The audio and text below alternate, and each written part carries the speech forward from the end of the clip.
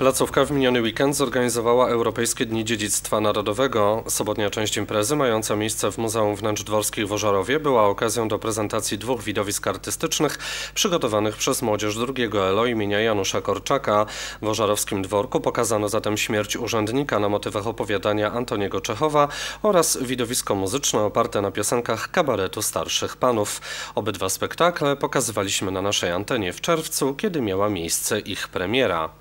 W niedzielę wszystko działo się tylko w podwojach Wieluńskiego Muzeum. Można było zatem oglądać dobrze już znane ekspozycje, jak wystawę Dzieje i Blask Bursztynu, czy interaktywną ekspozycję Fiat Lux od Witelona do tomografu optycznego. Ciekawą propozycją był również wykład na temat kwiatów w sztuce ludowej na ziemi wieluńskiej, wygłoszony przez Tomasza Spychałę. Nasi przodkowie, jeśli pojawiali się, po, jeśli pojawiał się jakikolwiek chęć pokazania czegoś pięknego, zawsze będzie dominował motyw roślinny. Sporadycznie będzie w naszej sztuce pojawiał się motyw geometryczny, czyli jakieś tam trójkąty, kwadraty czy jakiekolwiek inne figury, jednak zawsze to będzie motyw y, roślinny. Nie zawsze będzie to płatek, nie zawsze to będzie już, że tak powiem, zwieńczenie tej rośliny, czyli kwiatek, ale będzie to nieraz liść, będzie to łodyga. Y, także ta y, tematyka i ten motyw y, kwiatów będzie właśnie dominował w tej sztuce ludowej. Motyw kwiatów w sztuce ludowej jest rzeczywiście jednym z najważniejszych przewijających się na przestrzeni dziejów. Oto kilka przykładów. Nie ma tego przywiązania do tych kwiatów y, wiosną, latem y, i wczesną jesienią, bo one nas otaczają na zewnątrz. y, Mamy, można powiedzieć, na wyciągnięcie ręki, że gdzieś tam na łąkach, gdzieś tam na przysłowiowych miedzach.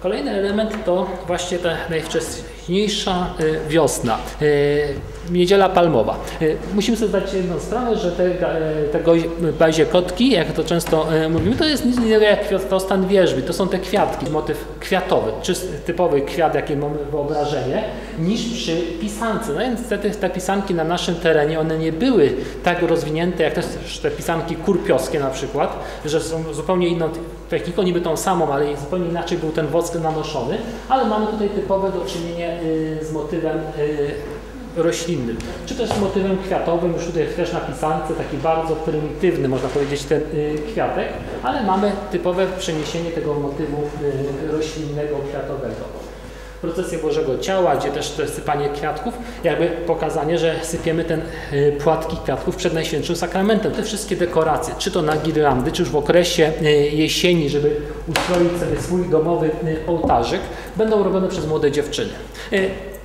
Dzisiaj no to też jest właściwie syndrom czasów. Zanika coś takiego, że się spotykamy y, na przysłowiowej kawie, czy po to, żeby sobie zrobić jakąś fajne y, ozdoby. Y, Każdy jest zamknięty w domu i ci młodzi przed tymi komputerami ze sobą rozmawiają przez te wszystkie różne komunikatory, ale kiedy się spotkają razem, to jest też udowodnione, naprawdę brakuje im tematów do rozmowy.